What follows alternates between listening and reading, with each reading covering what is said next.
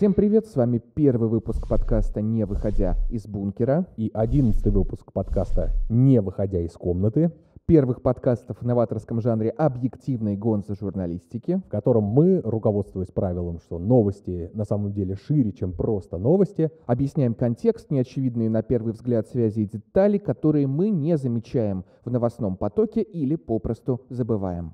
Также у нас есть доска, которую могут видеть наши зрители и не могут видеть слушатели, на которой мы будем прикреплять фотографии, логотипы и любого рода артефакты, которые... Раскрывают тему события, и все это будет повешено на ней. Таким образом, мы составим панораму события и запечатлим его в памяти для наших потомков. Таблеточки йода.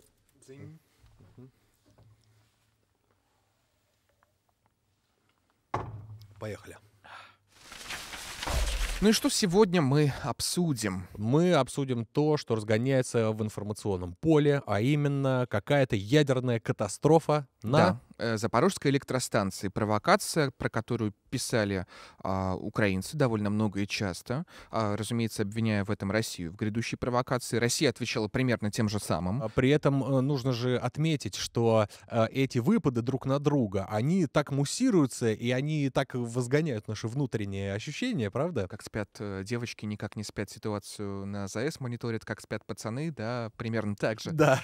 И что здесь важно сказать, что мы уже видели во всех э, новостных лентах, что будет после э, какого-то э, происшествия, да, то есть уже все масштабы ограничены, они всем уже рассказаны, что нужно делать, э, правильно, при каком-то ядерном э, катаклизме.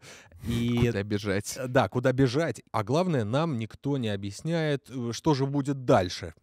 Ну, мы попытаемся это объяснить. Для начала давай все-таки посмотрим вот эта карта, что может произойти, если вот прям Запорожская АЭС вся от начала до конца э, будет что-то с ней Взорвано, произойдет. уничтожено. И здесь мы видим, что радиус поражения затрагивает очень многие страны, не только Украину, это и Восточная Европа, а, вплоть до Италии, по-моему, да? Нет, Италии не достает. Э, ну, да, действительно. Ну, ты же понимаешь, что ветер все равно донесет это туда так или иначе. Ну, разумеется. А, но что мы видим-то на этой карте? Главное, что если мы это сделаем, да, как россияне, главное, чтобы и нам досталось, да, то есть вот до Москвы аж должно долететь. Ну, слушай, а все делили пирог, а мы чего не удел, получается? Саратов, Астрахань, Волгоград, все Ру- должны Русские тоже хотят себе немножко цезия 137. Можно, пожалуйста? Ну, Да, ну, польза цезия-137 нам пока еще непонятна. Вот, последствия Мы- излучения тоже. Слушайте, мы обязательно запишем подкаст после того, как и себе немножечко урвем, да? Попилим, что называется. Да, как А. нормальные, опять же, русские люди. Да, мы любим пилить. Ну и давай посмотрим на саму Запорожскую атомную электростанцию. Э, Шесть энергоблоков. Вся Запорожская электростанция находится под контролем Российской Федерации с... Марта 22 года. Вот выглядит так эта чудесная постройка. Начиналось ее строительство еще в Советском Союзе. Да, и строилась она, между прочим, э, еще когда была э, Чернобыльская катастрофа. Она Мгм. продолжала строиться. И пятый, шестой энергоблоки были достроены в 95-96 году, когда Украина была независимой. Мгм. Ну, это, кстати, довольно крупный стратегический объект, который а, качал львиную долю электроэнергии по украинским сетям, обеспечивал страну едва ли не на четверть, если мне память не изменяет. Ну, вообще, да, достаточно крупное предприятие. То есть, э, во-первых, она самая большая в Европе, да, Да. мы должны это понимать. И если смотреть на ленте времени, да, Мгм. это первая атомная электростанция, которая находится, во-первых, на линии боевого соприкосновения практически, и она перешла из одной как бы юрисдикции в другую. Действительно, это первый случай такой в истории. И с этим связаны все коллизии, политические, правовые, то есть международные органы впервые э, реагируют на подобного рода вызов. Ну а кто на это все реагирует? Мы же должны с тобой сказать, что в первую очередь, э, естественно, э, МАГАТЭ. Да, и почему оно привлечено? Потому что все боятся аварии, никто не хочет повторения Чернобыльской катастрофы. Сериал по HBO сделал ее мировой темой. Да, причем это сделали не клюквой, да, то есть, а вот действительно им удалось как-то показать, вот э, передать какое-то вот это ощущение. Мы не говорим, да, насколько там правдивы или неправдивы какие-то факты, которые там показаны, но тем не не менее, вот эта вот обстановка, ты ее хотя бы понимаешь по-другому, не как в обычном каком-то блокбастере. Услышал слово «клюква», сразу подумал, как она выглядит в чернобыльских лесах. Ну, наверное, да. По три килограмма ягоды. Ну, то есть должно, должно быть что-то эдакое. В любом случае, э, разгон в медиа, так скажем, среде, он был действительно огромный. Там была очевидная вполне риторика. Смотрите, есть крупнейший атомный объект, а, который вот находится в зоне боевого соприкосновения, и не дай бог, что случается там? А, авария, взрыв, выброс, всю Европу накроет, а, весь мир столкнется с ужасными последствиями экологическими. Вы хотите это допустить? Но ведь еще были такие инциденты, да, что некоторые высокопоставленные э, люди с этой запорожской электростанции, например, там главный инженер, насколько mm-hmm. я помню, он сразу сказал, не-не-нет, я иду в сторону России. То есть там начался еще разлад внутри. И линия боевого соприкосновения, опять же, Днепр, да, э, Каховская ГЭС. Кстати, смотрите наш подкаст про Каховскую ГЭС, русофобию. Да, и... там вы найдете ответ, почему мы виноваты в первую очередь. Важно, что все эти вещи, они друг с другом связаны, и это очень интересно можно раскачивать. То есть э, сначала была Гаховская ГЭС, а теперь Запорожская электростанция, э, ее сейчас должны обязательно взорвать. Каким-то образом она должна взорваться, да? То есть мы же не понимаем, каким. При этом она достаточно безопасная. Мне кажется, это не сначала и потом, а это параллельно идут не, несколько сюжетов, которые украинские власти используют а, и актуализируют по мере необходимости. Но То вот есть... сейчас в чем необходимость? Сейчас мы пришли к тому, что разгоняла а, Украина, мы на это отвечали, а потом получается, что инспектор МАГАТЭ все проверили. Ну смотри, Каховская ГЭС, она же тоже фоном была долгое время, то есть там все вокруг нее а, носились, предупреждали о том, что провокации какие-то будут, и потом она сама собой вдруг а, внезапно внезапно была уничтожена. Сейчас получается, что в близлежащих городах, э, там в Харьковской области и так далее, э, проводят инструктаж э, населению, как себя вести при ядерном катаклизме, раздают таблетки йода, всяческие инструкции, что нужно делать, как себя уберечь и так далее. Да, так почему мы вообще об этом решили поговорить? Потому, ведь эти угрозы, они постоянно фоном присутствуют, и как будто а, многие уже равнодушны, потому что достали эту карту а, из дискурсивной колоды, а, да, положили на стол, стол и начали планомерно создавать нужный фон. А, методички эти о том, что с собой брать в случае, если что-то случится. А, передачи по украинскому ТВ. Детский доктор Комаровский, видимо, рассказывает, как чудесно будут появляться детишки с тремя руками и что, что, что делать. Ядерный э, катаклизм, в общем, неизбежен. То есть такой э, некоторый урок ОБЖ, да, причем общенациональные безопасность жизнедеятельности, да, программы, которые вы показали по, по всей стране. Когда коллективно впали в детство. Да, в любом случае, случае а, весь этот разгон, он приводил к некоторой панике. Более того, там же конкретная дата была названа. Якобы в ночь 4 на 5 июля готовится. Сперва об этом заявили э, ВСУ. Там у них есть какой-то психологический центр, не ЦИПСО, а вот э, именно по работе, видимо, с, с населением. Ком- с коммуникациями, так. скажем так. Заявили, что будет какая-то провокация со стороны, очевидно, ВСРФ.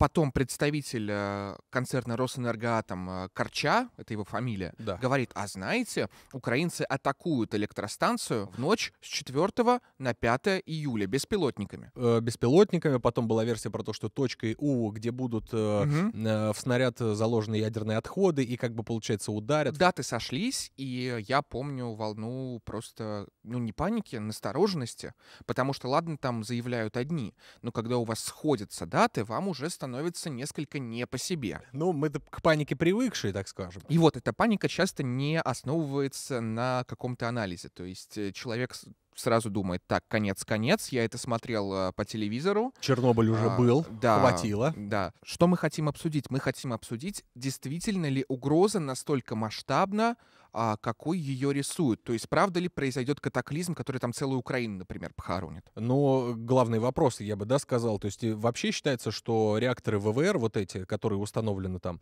они э, более безопасны, они не такие, как в Чернобыле, там другой принцип вообще работы. В да? Чернобыле он, по-моему, был графитовый и легко горел, за счет этого как бы распространялось. Э, Совершенно верно. А здесь существует вот защита от внешних факторов. То есть э, вот этот сам реактор, э, например, э, в него может влететь э, самолет со скоростью 200 метров в секунду, это типа 720 км в час. Но там написан интересный вес, то есть там около 5 с чем-то тонн.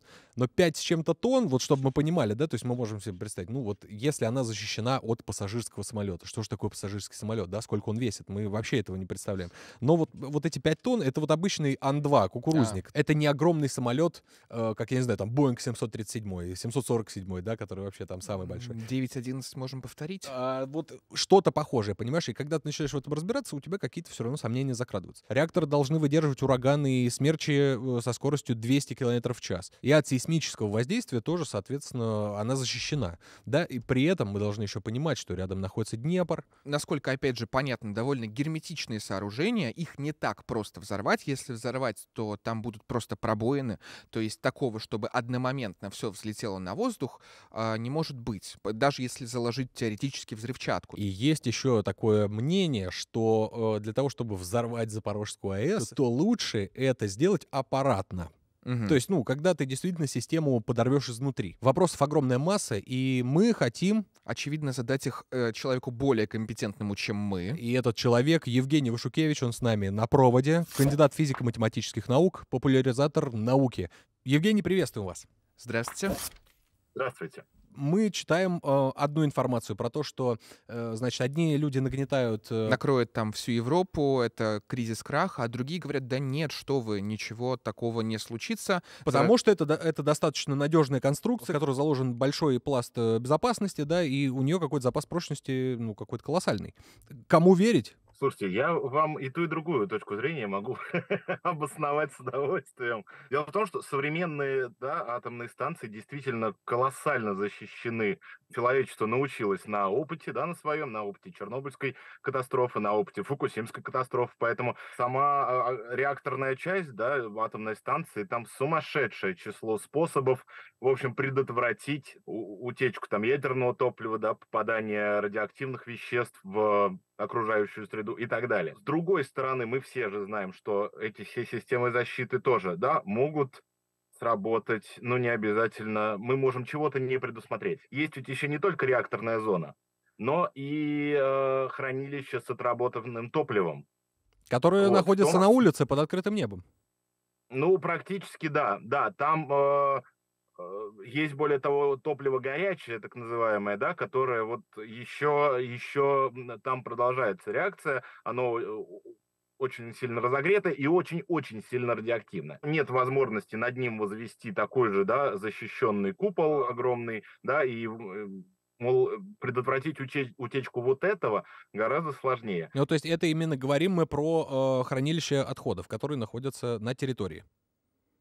Да, да, да. А если мы там... говорим э, о, сами, о самих реакторах, да, то есть все-таки там же есть э, достаточно, там есть вот это еще... Герметичный, да. Э, как-то вот этот купол называется. Да, containment он называется, да. Угу, то есть было даже вот какие-то, значит, были инфографики про то, что вот только если самолет какой-то врежется, вот только тогда может быть что-то нарушится, но реакция еще ниже, то есть это далеко еще надо как-то добраться до этого, я правильно понимаю? Да, действительно, прочность всех этих этих куполов реакторных, они какие-то сумасшедшие. Там закладывается прочность-то не на то, что что-то снаружи прилетит, а на, что, на то, что если изнутри что-то э, произойдет, чтобы выдержать ну, представляете себе, да, э, какой мощностью обладает взрыв реактора. Кроме того, опять-таки, системы защиты, да, например, есть одна из систем, где просто это все залива, заливается в случае аварии э, водой с большим содержанием бора, вот, а бор, он э, поглощает нейтроны.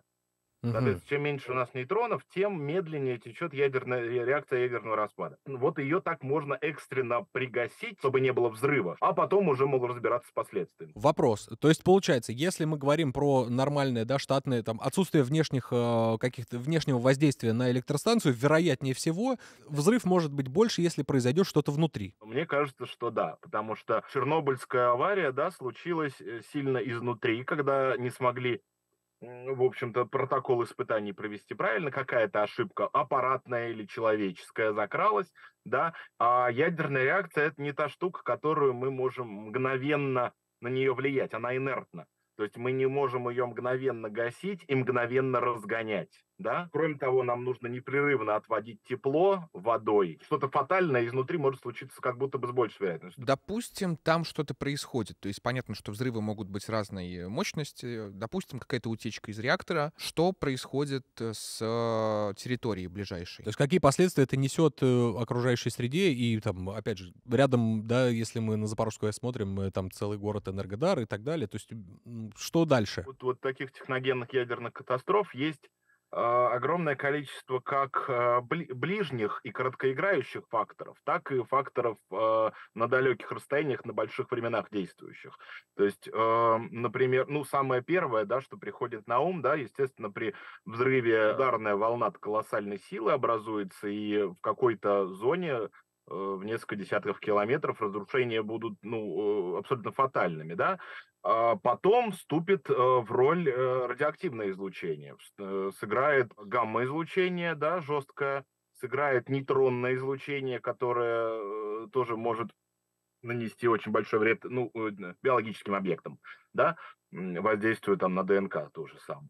Вот. Но э, самое -то такое печальное -то, это выброс альфа и бета излучения. Альфа-излучение, альфа-частиц, частицы гелия, да, э, по сути, они практически не опасны, если они снаружи нашего организма. Они останавливаются листом бумажки.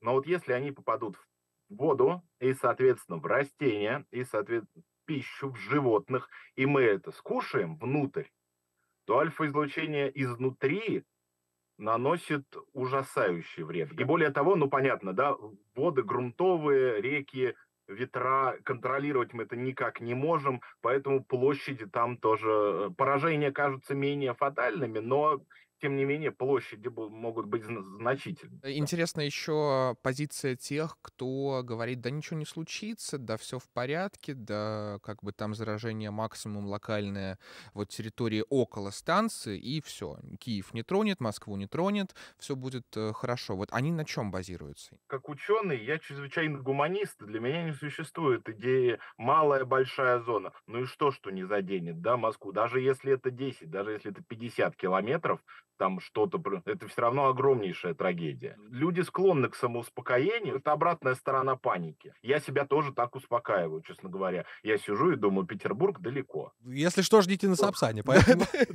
Ну, на этом все, собственно, да? Да. Евгений, спасибо вам большое. Да, было исчерпывающе, спасибо большое. Знаешь, у меня есть э, еще такой аспект, который меня очень сильно беспокоит. Это все-таки психологическое состояние э, сотрудников на угу. станции, на самой, да, потому что тебе нужно работать с этой огромной махиной, да, вот, которую мы можем снова увидеть. На тебя огромная ответственность, да, то есть, а на ком будет она в итоге, если будет какая-то ошибка? Очень сложные вопросы. Но эти вопросы, они висят же еще с Чернобыльской катастрофы, например. А на ком ответственность? Есть еще один момент, который меня очень сильно, ну, заставляет самого переживать, да. Представь, вот такая, значит, э, огромная вещь, которая э, может, э, с ней может что-то произойти, это будет там в масштабах континента, да, на ней работают сотрудники и с одной, и с другой стороны, у которых есть родственники в ближайшем э, городе. Слушай, ты сейчас описываешь идеальный сеттинг для сериала. Так я считаю, что, во-первых, будет интересно лет через 20 прочитать книгу о том, как, это, как все работали, знаешь, когда еще какие-то покровы спадут. Я думаю, лет через 20 будет интересно прочитать очень много книг о том, как все работали. Да, да, да. Именно, да, именно в наши дни. Да, на нашей петле времени. Идея, если что, продается за очень большие деньги. А, а на главную роль мы позовем Меган Маркл. Так, это почему? Потому что она сделала себе карьеру на производственной драме. Э, так. А ну, еще можно актерский состав сериала «Кухня» подогнать. Да. Агузок. Где мои атомы? Да, где, что в четвертом реакторе, да. Должен еще должен, э, насколько ты помнишь, еще в сериале «Кухня» был такой а, там француз. Здесь должен бегать некоторый человек испаноговорящий. Конечно же, господин Гросси, да? Ага.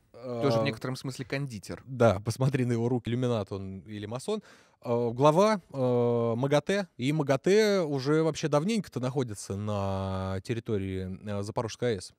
Да, почти сразу же, причем миссии допускались. А, Гросси чуть ли не единственный. Ну, э, вообще представители международных организаций часто ездят и в Киев, и в Москву, и вот в Калининград он недавно заезжал. Так. А, да, они вполне себе контактируют со всеми сторонами конфликта довольно спокойно. Ну, потому что это организация, которая под ООН. И статус же нужно соблюдать некоторый международный. Мы всех примирим, мы выполним свою функцию. Наша функция — контроль за использованием атома а, по всему миру. Но э, он же все равно подвергается жестокой критике. Вот. Я именно говорю про критику со стороны Михаила Подалека. А, это, как сказать, антикризисный советник а, Владимира Зеленского. Михаил Подоляк, насколько я помню, он э, журналист, вообще он закончил мед, Минский, вот, где его фотографии. Вот, Минский? То есть, да, А, Минский. То есть он, Какие неочевидные связи. да, и он постоянно выступает, э, говорит, что Гросси, э, в общем, какой-то непонятный человек, непонятно, что там делает МАГАТЭ, он постоянно их критикует и вообще говорит, что в МАГАТЭ очень много а, Агентов? русских, Да. русских, естественно, там М. очень много агентов. А, а у них, знаешь, в медиаповестке это вообще очень параноидальная штука, потому что многие спикеры а, говорят, Путин подкупил Европу полностью. Европа кишит российскими агентами. Российские агенты есть среди республиканской партии США. И ты слушаешь, с одной стороны, ощущение того, что вот э, Россия — это империя Дарта Вейдера, всемогущая такая. Ну да. А с другой стороны, ну это же объективная шиза. У нас э, в России существует э, такая компания, как Росатом. Ага. Да, и я считаю, что это ну, не на шутку, действительно великая э, компания, которая там всему миру строит атомные электростанции, атомные ледоколы. Да, да. Ну, это огромный пласт научный. Э, И когда тебе нужны спецы в сфере какой-то, значит, ядерной, где ты их будешь брать?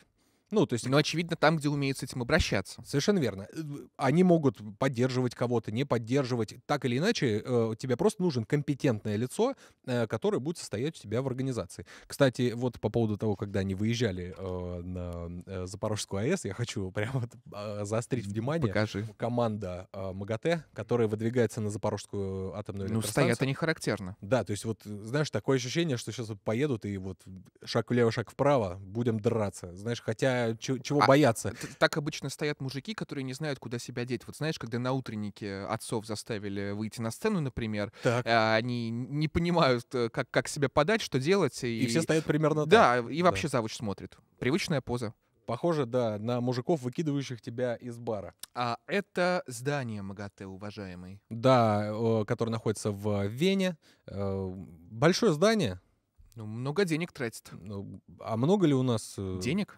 Нет, я вообще, вообще про мир. Много ли ядерного всякого, э, что они должны контролировать? Достаточно ли, чтобы такая... Знаешь, ядерного много, а вот контролировать немного. Всегда забавно, что эм, Украина обращается в этом случае к МАГАТЭ, а не к нам. Ну, с нами переговоры, кстати же, запрещены вообще, любые, да? То есть давайте решать этот вопрос на международном уровне. Разумеется, они всегда встраивают в свой нарратив а, вот это вот «мы защищаем всю Европу прямо сейчас», «мы защищаем весь евроатлантический мир». А Это действия России создают угрозу человечеству как таковому. Ну, естественно, как э, такая... За, за этой линией находится зло. И это, и это очень интересный момент, потому что а, Украина политизирует вот э, это за- за- за- западное представление о человеке как универсальном, да, чем-то. Ну, грубо говоря. Мгм. А, почему у вас атом курирует международная организация? Потому что а, это создает Ну, прецедент, который там выше уровня. Правильно Да, да, да, потому что как будто есть вот некоторый универсальный человек, и есть общечеловеческие проблемы, которые мы когда-то а, захотели решить, для этого устроили целую ООН, а сейчас немножко все расползается. А в чем э, как бы должен быть итог? И как бы господин Подоляк, да, который э, ругает Гросси, э, так решаются эти, что ли, вопросы? То есть, Господин Подоляк, кстати, очень проницательный человек. Знаешь, что он недавно сказал? например, Что вероятность того, что Россия устроит провокацию на ЗАЭС, 50 на 50. э, как и встретить динозавра в Санкт-Петербурге. Ну да, как и прокатиться на розовом слоне на Марсе. Мне просто интересно, что о таком событии можно как бы в таких категориях размышлять. Ну, как мне кажется, это просто, ну, оскорбительно к такой проблеме, да, потенциальной, относиться типа 50 на 50. Не должно. Ну да. Ну, в таком ключе. Сергей, а как вы думаете, может ли Украина взорвать э, Запорожскую атомную электростанцию? Да, могут. С какой вероятностью? 50 на 50 это либо случится, либо нет. Ну, понятное дело, что это публичные заявления. Да, ва- важно сделать разгонку международную, максимальную, вы посмотрите. И вот мы уже народ готовим. Почему международная разгонка важна? Потому что здесь могут быть политические последствия у взрыва, потенциального взрыва. Давай. А, Например, э, у вас, если проблема общечеловеческая, то нечто беспрецедентное происходит, да, мы и должны решать ее общими усилиями. То есть самостоятельно никак. Самостоятельно никак. И это уже, ну, а, может теоретически быть предлогом для введения какого-то ограниченного контингента. А, то, есть, есть миротворческий какой-то контингент. Да, вполне. То есть происходит э, событие, которое классифицируют как меняющее баланс абсолютно. Как мы должны реагировать? Выходит там, э, не знаю, не Байден, э, кто-то кто еще. Допустим. И озвучивает идею. Ребята, смотрите, а, мы последние очень много лет топим за права человека. Мы не хотим а, того, чтобы а, цивилизация закончилась, да, да в целом в широком смысле цивилизация. А, И нам нужно реагировать. И каким образом? Ну, типа, вводим э, ограниченный контингент. Да, потому что ситуация там совершенно уже не контролируется никем. Мы вынуждены ввести ограниченный контингент, мы вынуждены взять какие-то объекты под контроль, а, мы вынуждены там, допустим, допустим, ударить по России или по российским а, каким-то складам или Это вам ра- как? ракетным шахтам. То есть какой конфликт мы видим? Украина говорит, это наша станция, валите, правильно? А Гросси говорит, «Э, надо сделать демилитаризованную зону. А стоят наши солдаты в там контингент около 500 человек. И этот конфликт неразрешимый, как и многие другие вот в происходящих событиях. У вас есть позиции, которые абсолютно не стыкуются. А ты задумывался о том, почему, а, если украинцы говорят, что Россия хочет устроить провокацию, то как они объясняют выгоду? Какую выгоду? Нашу? Ну, Нашу Я выгоду. очень сомневаюсь, что она вообще какая-либо есть. Так, Тут есть интересная линия, опять же, через логику общечеловеческого кризиса. Но украинцы приписывают ее русским. Они говорят, что вот Россия хочет создать прецедент, обвинить в этом нас и выступить потом в качестве спасителей, что ли, мира а, от угрозы, которую несет бесконтрольная украинская власть. так. Это тоже забавно, это эксплуатирует э, этот международный нарратив, да, нарратив Мгм. общечеловеческой проблемы. А украинская выгода заключается в том, что э, как бы разогнали тему, э, показали фотографии, картинки. Вот посмотрите, мы все очень сильно переживаем. Дайте что? Ведите контингент, ударьте А. ядерным оружием по России, например. Потому что Россия должна выглядеть как угроза не просто Украине. Мгм. Понимаешь, это их э, идея фикс. Просто экзистенциальная, Это- в общем, угроза да. всего и вся. Это их политический фетиш. Россия должна выглядеть как угроза человечеству и концепции человека. А Украина должна выглядеть как форпост, бастион да, прав человека и человечности, э, в принципе, и Да, да. концепции человека. Ты, кстати, знаешь, как концепция человека э, в логике его прав? Вот что такое человек, какими правами должен он обладать? Как это понимание, оно вообще формировалось? Ну-ка расскажи. Человек — это вообще довольно позднее изобретение. Да, так, о чем ты? О том, что наше понимание прав человека, да, вот все, все носятся с правами человека. Права человека, права человека, права человека. Но кто такой человек? Вот и какими правами он должен обладать. Выдумывали это довольно часто и довольно э, в разных там политических системах и веках, но документ, к которому отсылаются, он был создан в 1948 году, то есть подготовка велась, очевидно, раньше. а, Декларация прав э, человека и гражданина. Так, Как ее создавали? вот это я не, вообще не А знаю. это интересно, потому что а, уважаемые дяди, бюрократы, разослали письмо а, многим известным философам, там больше сотни человек, по-моему, было, мыслителям, специалистам по этике, там, не знаю, истории идей, и спросили у них, слушайте, ну, давайте мы как-то вместе подумаем над тем, что такое человек универсальный. Ну, ну кто такой человек? Придем к общему знаменателю. Так. Так вот, они получили ответы от этих уважаемых э, мужей интеллектуальных, но эти ответы были настолько разными, настолько противоречащими, э, в принципе, друг другу онтологически, то есть их никак нельзя было состыковать, что они просто решили вот написать несколько конструкций таких э, бюрократических, гуманных, Мгм. не привлекая для этого особо умных людей, и вышло то, что вышло. Был создан человек.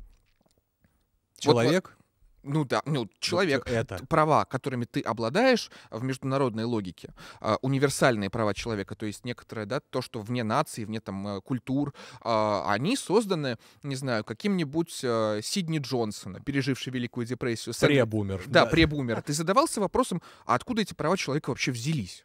Ну, э, никто же не задается. Они просто вот есть как мантра. Права человека, права человека. Ну, мы с этим знанием уже родились. Мы люди постольку, поскольку мы там соответствуем концепции человека, придуманной, а, по сути, бюрократом, обыкновенным бюрократом. Так, э, ну и что, в итоге, как нам определить себя как человека-то? Ну, это подается через права, да, то есть как бы ты достигаешь понятия человечности э, от... э, По факту Да, рождения. и к этому больше не возвращались. И все проблемные вопросы а, просто решаются вот этой картой. Прости, какой, э, какой это год был? 40? 48 48-й. 48 Но если сейчас это все такое, такая цитадель гуманности, то напомним разговор о правах человека во времена Великой Французской революции, когда тоже была декларация. А, Тогда на кухнях разговаривали, да, в московских гостиных тогда разговаривали про права человека, а потом спокойно рубили голову, потому что, ну, а чего там? Ну, понятно. Совершенно другое было представление, мироощущение и так далее. Но мы вот сейчас говорили с тобой про 48-й год, да? Да, да, да. А, а ведь э, за пару лет до этого что, прав человека не существовало? В таком виде нет. А, Ну вот давай сейчас я просто свяжу это с ядерной э, всей этой темой. Э, Меня очень сильно э, нравится, как все нормализуется. Да, мы уже очередной раз с тобой об этом говорим. Дроны прилетели в Москву, э, ну вот как-то мы с Да живем свыклись. дальше, да. В общем, мы, когда привыкаем к таким вот вещам, это очередной ящик Пандоры, который мы открываем, и с ним нужно что-то решать. Правильно? Да. И сейчас, когда об этом, обо всем говорится, да, много, то есть, ну, все уже устают, и как будто бы приходит все к тому моменту, что люди говорят, боже, да ударьте кто-нибудь.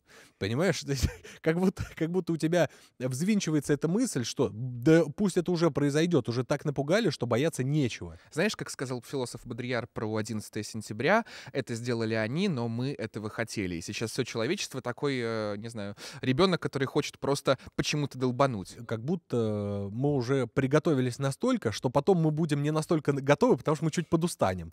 Вот хочу еще, значит, прикрепить э, фотографию для совершеннолетних, да, зрителей. Совершеннолетних? Да.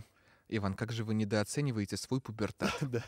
А, здесь изображены две женщины в достаточно откровенном а, белье для купания, Мгм. которое мы называем, как обычно... Бикини. Наконец-то в нашем подкасте голые женские ягодицы. Давайте вернемся к изображению. Что мы здесь видим? Да, Э, Мы здесь видим очень и очень много. Да. Горизонты, мечты. пляж, а, и как будто бы вот пахнет такой свежестью, Возможно, морской солью, немножко потом. да, удовольствием. Вот, Да. понимаешь, каким-то вот релаксом полным. Я бы хотел задать такой вопрос. Вот как мы это обычно называем?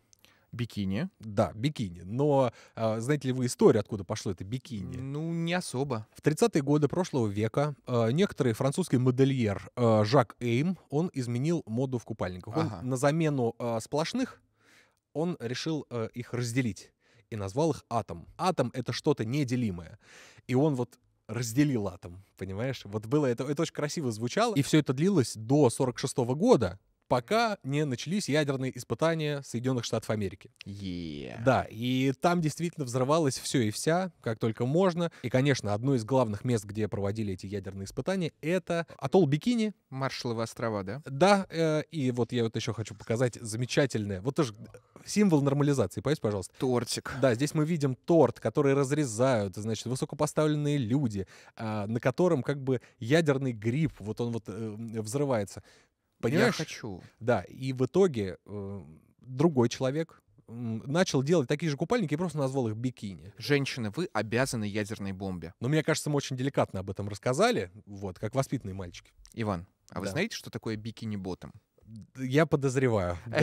Я думаю, что многие знают. Это мультипликационный город из э, Спанч Боба. Да, совершенно верно. Здесь э, э, была, кстати, вот одна из первых, наверное, теорий как раз о том, что это... Это не теория, потому что в Спанч Бобе, когда камера выплывает на поверхность, Так. показан атолл бикини. есть Натурально. Да, я... Ну, мы То есть а, Спанч Боб находится под местом, где проходили атомные испытания Соединенных Штатов. Э, А теория заключается в том, что все эти персонажи результат а, мутаций. Да, прям так. перманентных. Да, было еще какое-то, да, что это мутации, что это сотрудники какие-то, А. которые э, работали, значит, на этих испытаниях, и вот они оказались на дне океана, и каждый из них вот превратился во что-то. Ну, они такие довольно волатильные биологические формы, кстати. Интересно, что это тоже нормализация получается. Нас нормализовали с детства э, к Мы, ядерным... понимаешь, мы с детства питались а, отходами атомных испытаний США. А, да.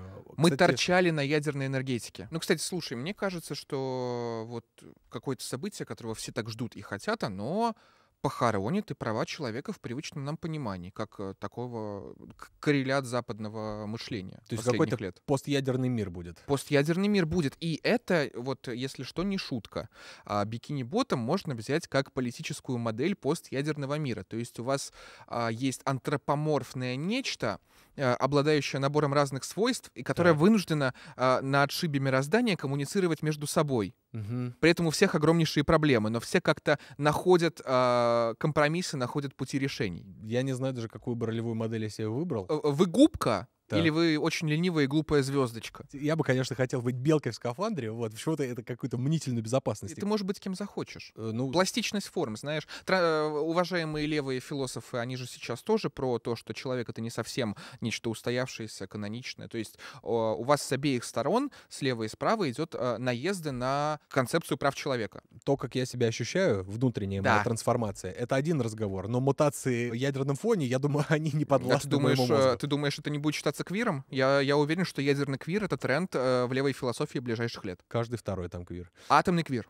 Запомните. Получается, это наша будущая новая нормальность, о которой мы постоянно Ты разговариваем. заметил, э, кстати, вот в повседневности постоянно вста- стало всплывать про ядерные взрывы, ядерный, ядерный, ядерный, как будто человечество уже хочет себя подвести наконец-то к этой черте. Ну да, так и Ну, то было, есть да. э, Дмитрий Анатольевич Медведев пишет очередной пост э, с призывами использовать ядерное оружие. Был какой-то господин, вот ты про него А, рассказывал. Караганов, да. Да. А, Человек написал статью, это политолог, а, Мгм. он написал про а, упреждающий удар возмездия. В чем суть? По сути, просто ебать по Вроцлаву. В чем его суть?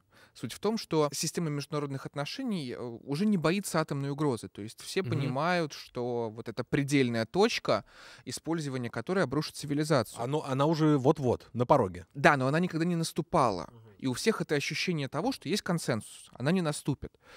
Но если вернуть в международные отношения страх, то Запад не будет действовать так смело, как он действует. То есть, сейчас, секунду. Ядерные испытания, которые проводились до этого, э, они напугали всю общественность мировую Да. до какого-то градуса, что давайте, ребята, договариваться. Э, значит, э, разоружение, хранение, там Мгм. все вот эти вот вопросы. А сейчас мы уже в этой парадигме встаем перед вопросом. Ребята, все, что, о чем мы договорились до этого, Не работает. Не мы, работает. мы можем ударить по Вроцлаву, чтобы показать, что мы готовы, наступил э, новый этап э, отношений и все. И тогда все ваши потуги на нас воздействовать заканчиваются, потому что, потому что это уже черта, где страх существует. Это логика конфликта между тем, что атом э, контролирует вот условное МАГАТЭ, да, да. международная структура человечества как таковое, и тем, что атом принадлежит суверенной нации, которая может отстаивать свои интересы таким образом. То есть это вот буквально у нас на глазах новое смысловое поле конфликта. В любом случае мы за этим понаблюдаем, потому что э, существует вообще очень много вызовов. Например, э, для меня был шок. Для меня был шок. Грета Тунберг приезжала в э, Киев. Вот. Я даже не знаю, куда, куда ее повесить. Как мы с антропоморфных э, мутантов перескочили на Грету Тунберг, очень интересно. Да, это не связано с ее отклонениями, девиациями, болезнями и так далее. Давай пока ее прикреплю. А, Экоцид? Э, Да, это экоцид. А, то есть вообще, э, если кто не знает, и в Уголовном кодексе Российской Федерации есть экоцид. Это как бы намеренное уничтожение э, природы. Чтобы привести пример, э, американцы во время Вьетнамской войны распыляли вещество над Вьетнамом для того, чтобы там погибало все живое. Там погибало огромное количество видов птиц, растительность вся и так далее. К чему я это? Это намеренное уничтожение э, природы. Приехала Грета Тунберг в э, Киев и говорит, разрушение Каховской гидроэлектростанции это, ну, значит, прецедент экоцида. То есть она приезжает в страну, которая использует э, боеприпасы с обогащенным ураном, а, оставляющим неизгладимые последствия для почвы и прочее. Окей. Ну, наверняка она же при- э, добралась на поезде, Мгм. правильно? То есть- Ну, во-первых, она по идейным соображениям не летает на самолетах, Мгм. а во-вторых, э, на Украине не летают гражданские рейсы. Да, гражданские самолеты не летают. В общем, э, мы встаем перед новыми какими-то вызовами. И только Грета Тунберг стоит на пути у ядерной бомбы. Да, я представляю, Девочка с синдромом Аспергера спасет планету. да, будет главным советником при этом суде на этих заседаниях. и так Антикризисным советником. Антикризисным советником, да, как господин Подоляк. И наша реальность, она, видимо, будет вот как... а, Вот если кто не узнал, да, вот справа это господин Арестович, а слева а, Марк Фейгин, а, признанный Иноагентом. иноагентом, террористом, ну, в общем, много кем. очень неприятный человек. В общем, все это будет у нас, э, видимо, в будущем. Мы будем смотреть, как всего три недели осталось до периода полураспада. Мгм. И у нас будут не умные часы, а умные часы судного дня, например. Да, да, бы. да, да. И для того, чтобы не подвергать себя панике, дорогие друзья, вот э, на фотографии у нас изображен ОЗК, э, общевойсковой защитный комплект. Но я бы хотел просто про другое. Купить его вам необходимо. Прочитайте просто учебник ОБЖ, который вы не читали в любом случае в школе, и жизнь у вас будет куда более красочной. Вы хотя бы будете знать, что делать. Слушай, жизнь в любом случае будет куда более красочной. Да, да, какой бы она ни была. Вот. Главное э, оставаться всегда э, с хорошим настроением, правильно? Слушай, мы тут популяризируем концепцию новой нормальности. Поэтому, если вы идете уверенным шагом по городу, смотрите в умные часы судного дня и читаете пост Дмитрия Медведева, а под ноги вам падает ядерка, не переживайте, это в порядке вещей. С неизбежностью не поработать никак, поэтому готовьтесь э, по учебникам ОБЖ. Будьте метамодернистским осликом, который знает, что он никогда не догонит морковку, повешенную перед ним, но все равно стремится так, как будто бы догнал. Ну и, как говорилось э, в очень э, древней пословице, делай, что должен делать, и будь, что будет. Но для начала нужно подписаться на наш канал, оставить комментарий, э, прожать лайк и, главное, написать, вы-то переживаете хотя бы на этот счет или нет? Или, может быть, вам уже все равно, и вас ничего уже не волнует, и вы действительно живете по принципу «будь что будет». В общем, поделитесь своими переживаниями в комментариях, мы обязательно все прочитаем и будем рады любой обратной связи. А мы с вами увидимся на следующей неделе. Ведь если не мы найдем какой-то повод для встречи, то он точно найдет нас. С вами были Сергей Изотов. И Иван Орлов-Смородин. До встречи в Бикини Ботом.